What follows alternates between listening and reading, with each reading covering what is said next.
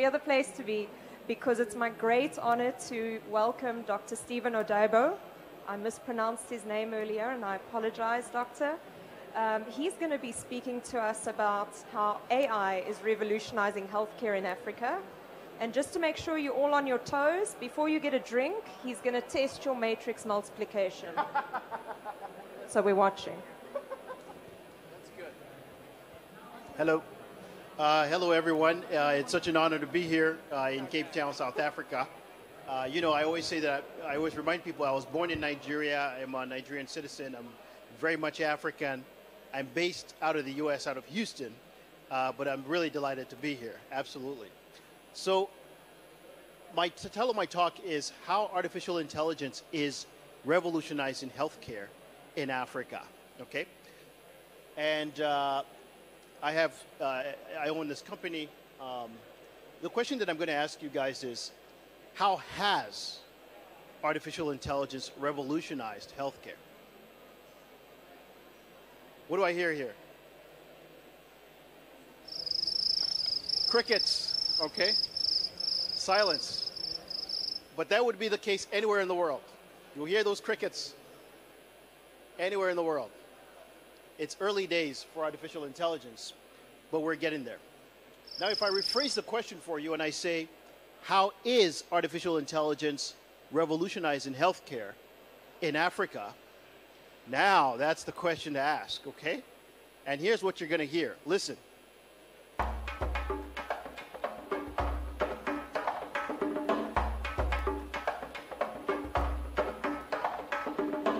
Very nice. There's a groundswell of excitement on the continent. This is the youngest continent on Earth, okay? Median age, how old? Median age of Africa. 19 years old. In 2015, UN put out a survey. There's a lot of people that have cut the bug of artificial intelligence, data science. A lot of young people want to learn about this. Africa has leapfrogged in telco. I'm glad that I'm here at the Africa Com, primarily a telco conference, and led the world in things like mobile money. It's an exciting time. Let's hear that beat again.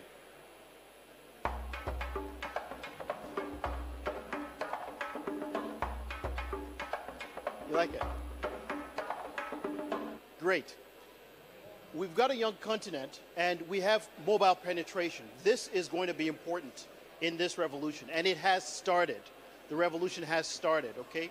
Um, of the young people in Kenya, for instance, 90% have a mobile phone, all right? So it's the case that, you know, just about everybody on our continent can access data and can access uh, mo- through mobile technology. And that's only continuing to improve. So this is the infrastructure, this is the groundwork through which um, this revolution has begun. All right? Now, certainly in clinics all around the country, all around the continent, in every country on the continent, there's this access. All right? So this revolution has begun because we can reach people. And healthcare, the healthcare problem is primarily a problem of access, okay? Getting the care to the people that need that care, where they need it, when they need it, in a cost effective manner. All right? Now, another critical part of all of this is the skills that are needed. We need data scientists. That's the number one most in demand job in the world is data science. All right? A data scientist in the United States makes a good income. And that's true anywhere in the world. Because of the high demand, you know, you've got companies like Google, Apple, um, Facebook, you name it, they're mopping people up. And so if, if you have a child, tell them to do data science. And there's a lot of buzz on the continent, and there are a lot of exciting young entrepreneurs who have started to do their own thing and who have seen the vision of where AI is going to take healthcare in Africa and help Africa not only catch up, but actually start to lead. And I want to highlight a, number of those uh, people uh, today. The first person I want to talk about is this young man right here, Darlington Akogo. He's out of Ghana.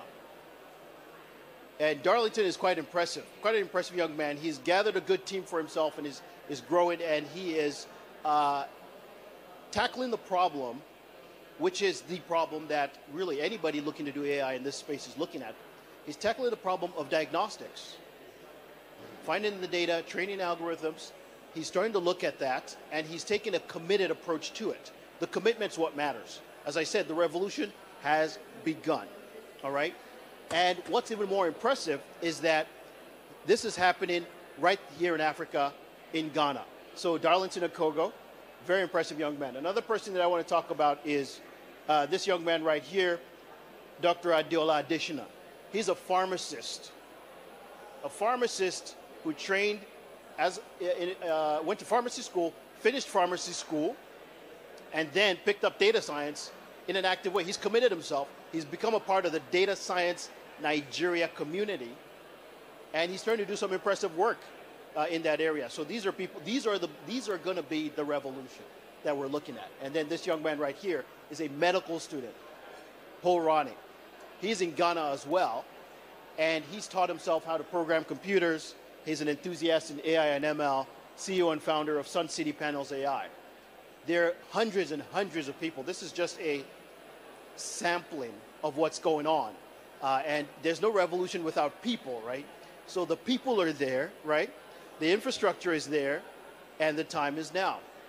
What else do we need? Okay? So it's looking really good from a revolution standpoint and in terms of what's going to happen.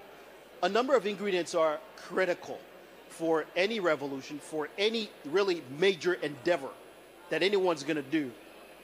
You have to have courage, right? So courage is a key part of this. And that's something that I don't think there's too much shortage of that on the face of it in Africa. But at the same time, we have to see that courage is connected to a few other things as well, right? And that, that might be a damper in some ways. And so all different parts of this process have to be recognized. Capability is one thing. I talked about training data scientists. We have to have the right people with the right skill set. All right?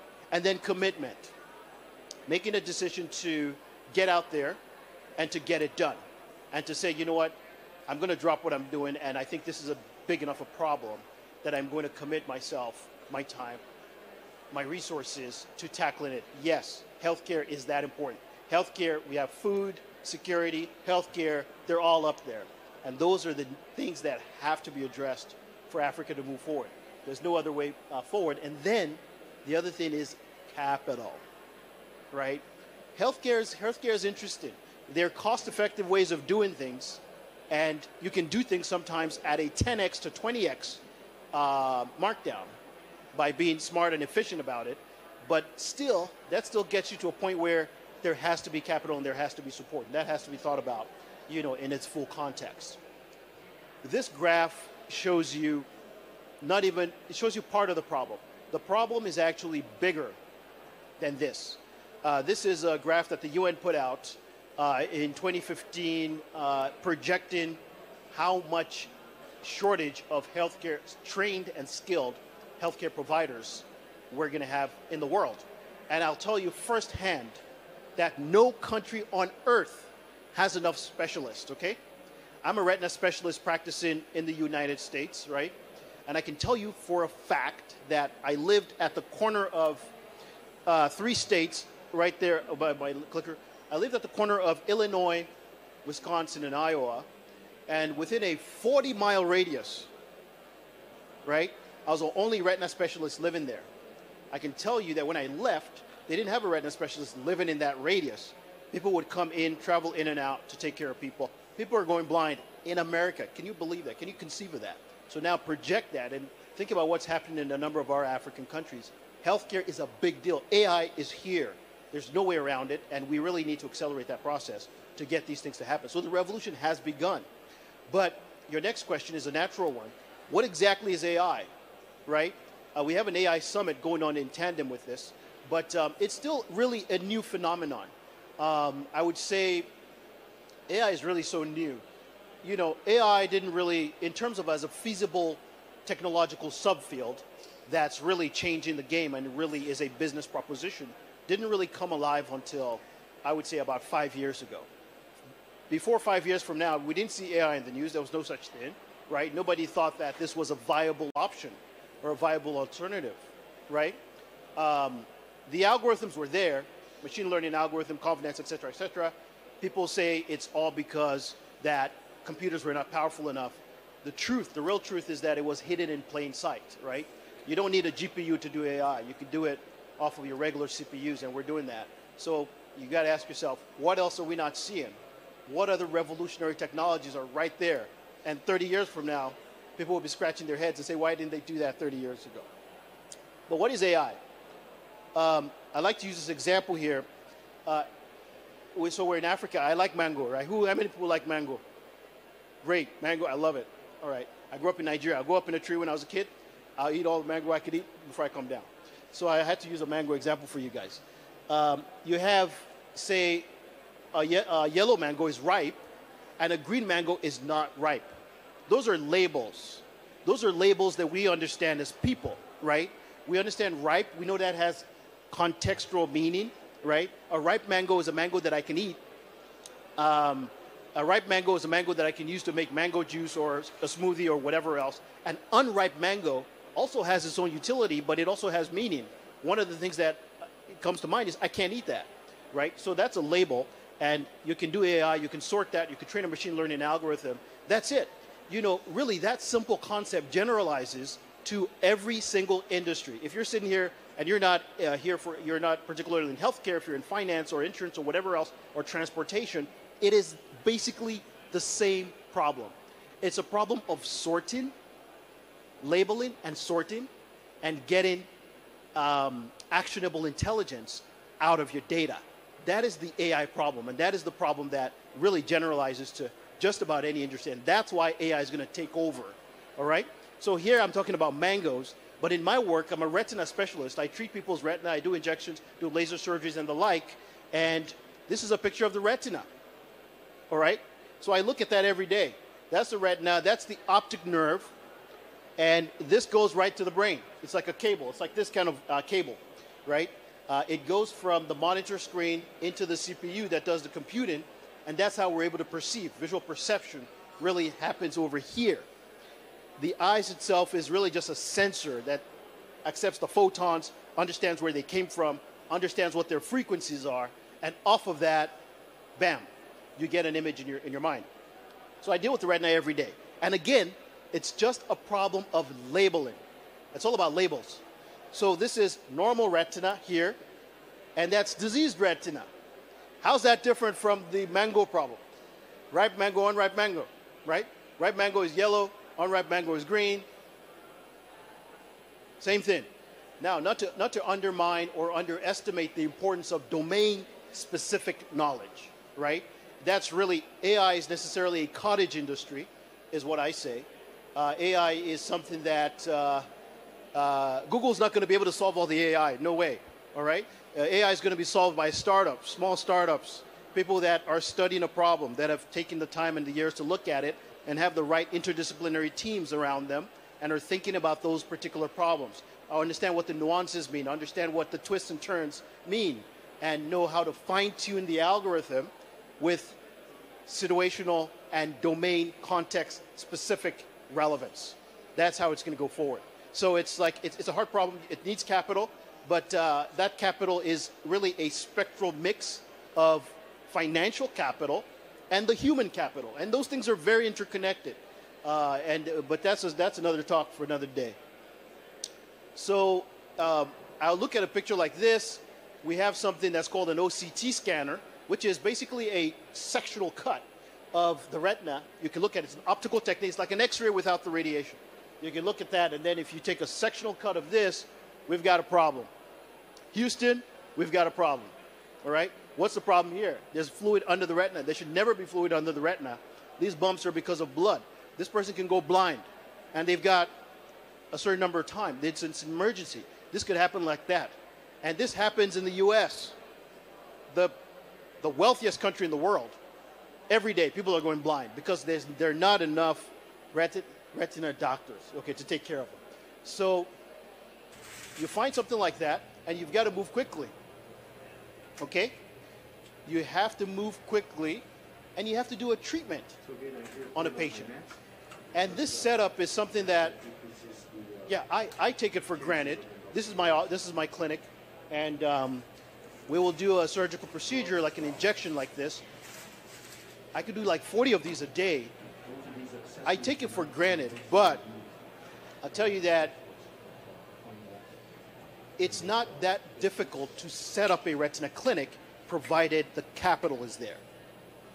I assure you that one can set up a retina clinic anywhere in the world, say in Cape Town, for per- perhaps less than $200,000. And if you're really good, maybe let, maybe uh, you can do it for $100,000. Um, in my country where I came from, somebody stole $2 billion, right?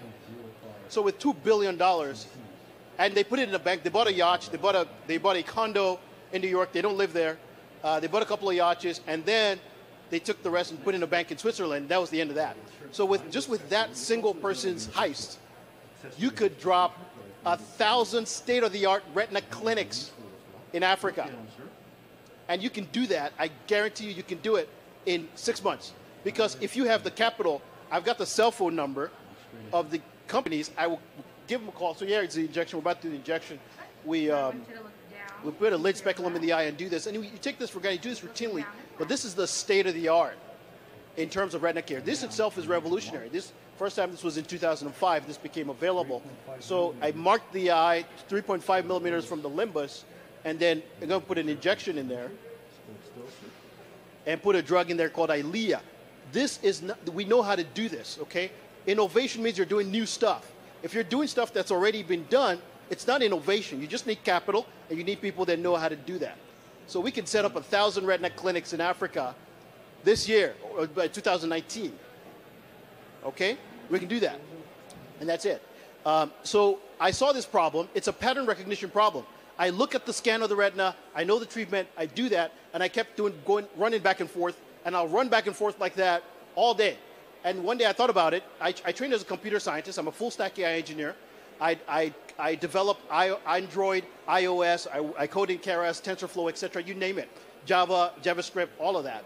And so I said, okay, I, I went ahead and started a company because when you look at this, the um, the hallmark of that fluid I showed you on the scan, these are all the diseases that it scans for: diabetes, exudative macular degeneration, pseudophakic uh, CME, retinal vein occlusion, central serous retinopathy, uveitis, and retinal detachments. If we had an AI that can screen for all of that, that's a good thing, right?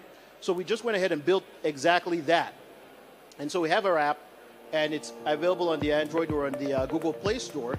And you basically take a picture of a picture, and once you get that picture, it, it goes in the cloud, computes on our ML algorithm, and it comes back with an answer. Done.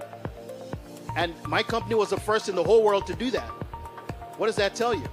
It tells you that if you can get that person's heist, right, and give it to me, we can drop a thousand retina clinics in Africa in 2019, and by 2020, Africa is the leader in eye care.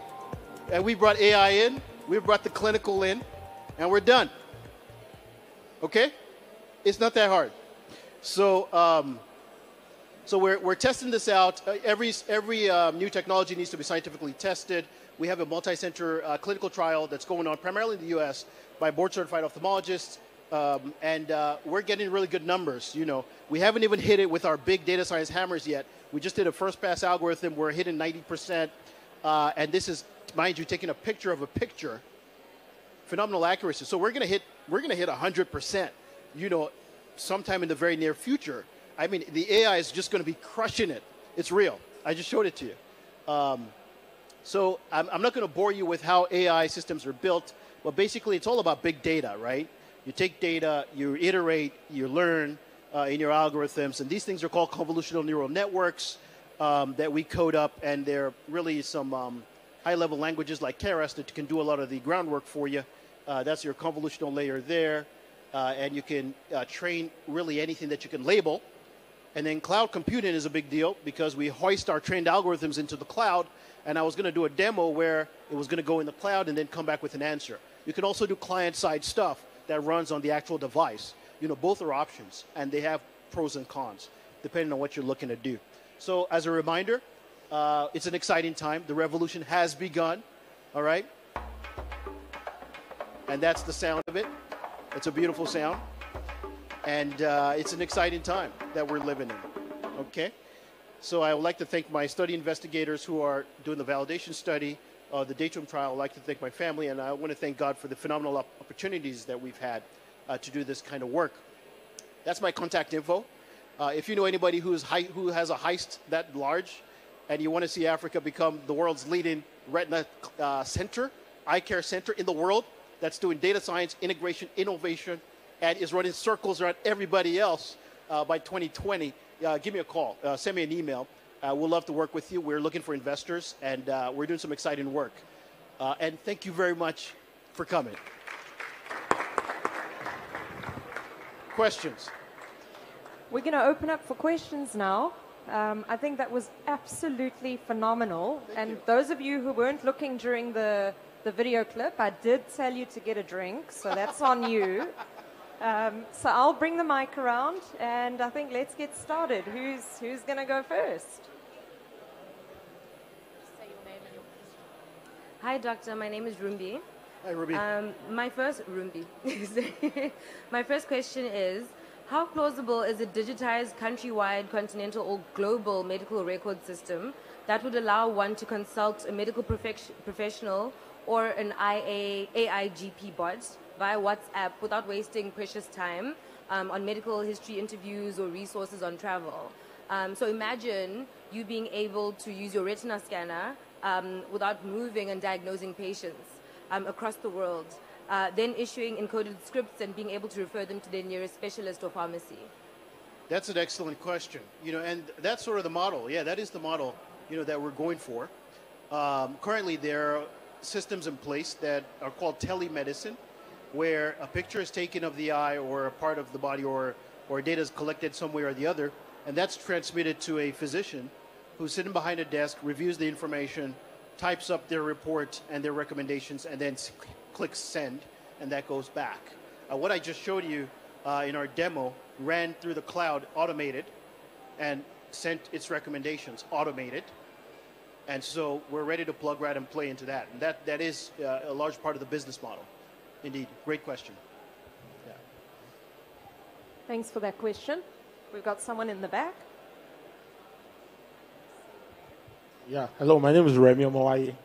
Hello, Mr. Omoy. I, I Thank you for come from your country. Ah, yes, indeed. I see. Oh, yeah, yeah.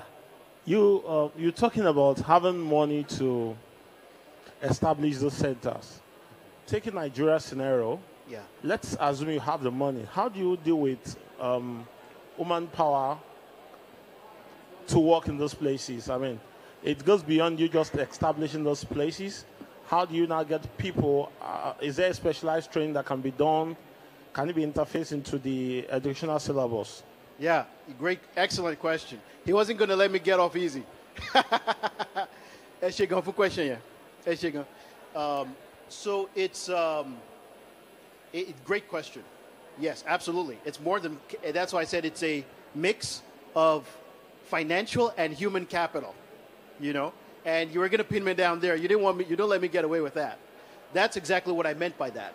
That human capital is enormous. You know, money cannot buy everything. Okay, um, the buck stops at certain places, but there are ways around that. You can establish accelerated training programs. One of the things that Africa has, which I mentioned earlier, is that it is the youngest continent on earth, right? Median age 19.7 years old.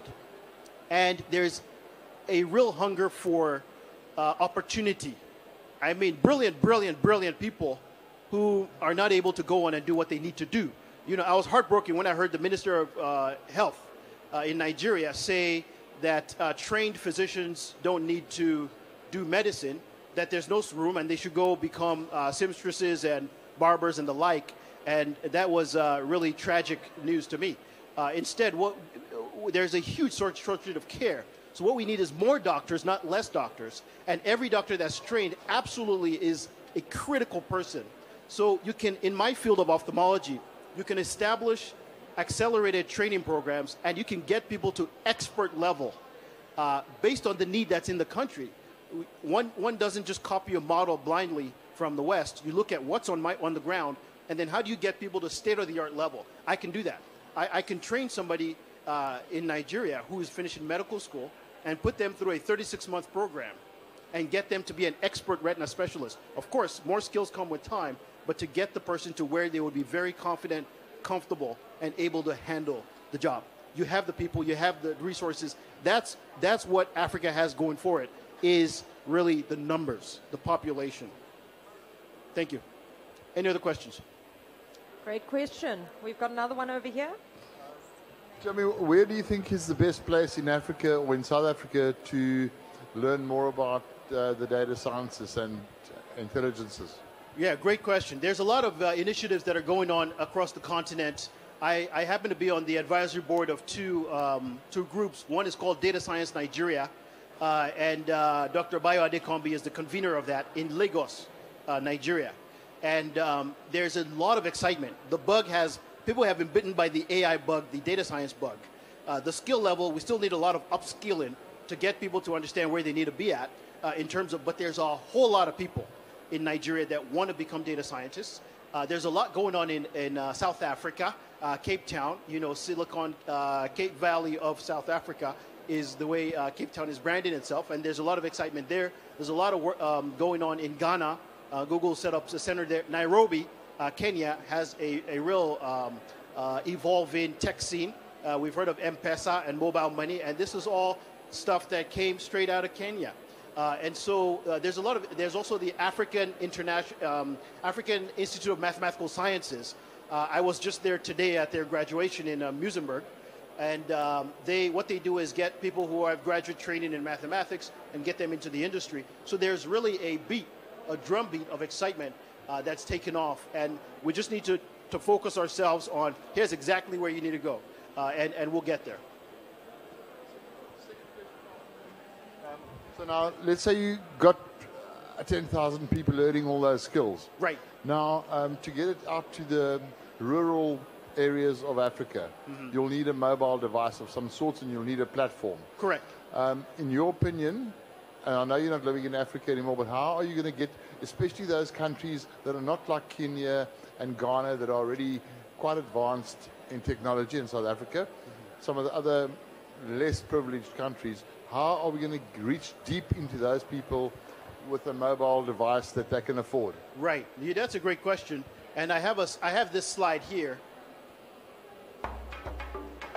And so what you see is, you know, this is Africacom, right? Telcos, you know, and it's getting bigger and bigger. We're even going into 5G. So it's already looking really nicely connected. But still, as you pointed out, there are a lot of places that these arrows jump right over, right? So yes, you know there are places where even here in South Africa, you know, we, the, we, we can do better also with our access to the internet. Certainly in Nigeria, Lagos, Nairobi, all these places, it's going to continue to improve. Uh, and so the penetration at this point is quite impressive. But uh, yes, there's still going to be issues. Actual implementation and testing and adoption on the ground is going to be a lot of hard work. Uh, that's, that's absolutely correct. But we'll get there. Lots of questions. I'm going to come over to this lady and then back to you. Um, hi, I'm Amanda. Um, I work for a tech recruitment company, and we find that there are quite a few data science graduates, or rather not graduates. They graduate from um, particular programs and don't have formal training. Um, and the aim of these um, programs is to enable those who aren't able to go to university and get these degrees so that they are able to get qualifications in their academies doing AI. Um, but then you find that um, a lot of companies are looking for a particular kind of skill set that comes with a degree when it comes to data science. Um, do you have any insights on kind of how to bridge that gap for those who have gone through that training and according to that academy would be worth their salt in a company, but companies just aren't looking for that kind of, you know, self-taught, so to speak, um, uh, data scientist? Yeah. So um, from that perspective, as you know, I, I have the privilege of being a full stack AI engineer and so I am an informed employer. And what I would tell those employers is that they're getting it wrong. Absolutely. Um, you, what you're looking for is skills. You know, um, you, I, I talk, I, I talk about the degrees that I, for medicine you need a degree, and I talk about having my degrees in math and computer science and so on. Uh, and really, when I, when I, when I say those things, I'm really, in some ways, um, uh, talking to people who don't have the correct information and I'm speaking their language. But the truth is, from an employer standpoint, when I'm looking for people to hire, I, I have a job to do, right? And if you went to Harvard, that's nice. But if you can't do the job, I only have so much money, and th- this job needs to happen. So if it's not a charity, I'm not going to hire the person from Harvard. I'm going to hire the person who knows how to do the job, even if they didn't graduate from high school, because I, I only have this much money to spend. Yeah. Thank you. Um, what do you think is the likelihood of healthcare professionals being able to accept mobile money as payment rather than medical aid? Oh, it's going to happen. I mean, mobile money is huge. You know, I'm, I'm good friends with uh, Dr. Bitange Ndemo, and uh, Kenya has been really impressive. And I think Kenya is really leading the charge uh, in the technology space. Um, and so it's, I mean, they, they serve that up for us. You know, that's low-hanging fruit, and it's ready. Uh, it's, it's, it's an ideal mechanism, and I think we are only starting to see the tip of the iceberg in terms of what that technology is going to do. It's going to, it's going to be in healthcare. It's going to play a key role. These are all excellent questions. Thank you. We've got another one over here. Uh, thank you, Doctor. Thank you, sir. Um, you took an example uh, Kenya, uh, Nigeria, Ghana, South Africa. These are the most developed countries in Africa. yes. Uh, if we go to Somalia, South Sudan, Central African Republic, you name it, all those, you know, uh, which are which have been in civil wars and which doesn't have uh, uh, healthcare in- infrastructure. Uh, how will you start this uh, revolution of uh, AI, considering less coverage, affordability, handsets, which are not, you know, the standard ones, uh, the level of education. Uh, so how we can, you know, tackle this problem? Right. Yeah, it's it's a more difficult problem in, in those areas um, where they don't have the infrastructure, the parts that these lines skip over. Um, but what you have in those places are people. So for there, what you're looking for is a more long term, because I talked about that capital, right? There's a spectrum. Capital is human capital and financial capital, and it all blends into itself. And so uh, you have people there. I just came back from the uh, uh, African uh, Institute of Mathematical Sciences graduation today in Muizenberg, uh, where I spoke briefly. And they call that the next Einstein Forum. That's the whole idea. They believe that the next Einstein is going to come from Africa. And that person is, be, it could be in Somalia, you know, or South Sudan, uh, or, or Niger. Uh, and so initially, the, these mobile devices are very affordable. You know, the Android devices are very affordable. You can get care there, but I think education uh, and th- those places certainly need more support. And I think that the more developed centers will play a role, especially when it's recognized that you have a lot of potential in, the, in these areas, and your next Einstein is probably in one of those places. Thank you. So we're quite uh, over time, but I think it's, it's very well justified. This has been a fascinating discussion. Thank you, Emma. So I'd like to thank you, Dr. Odaibo, um, a true polymath in our midst. I think that's a very rare, rare thing to see. Well, thank you. Thank you for coming to speak to us. And if you would like to continue to speak to the doctor, you're going to be around? I will. I'll be, I'll be here the rest of today, and I'll be here parts of tomorrow as well.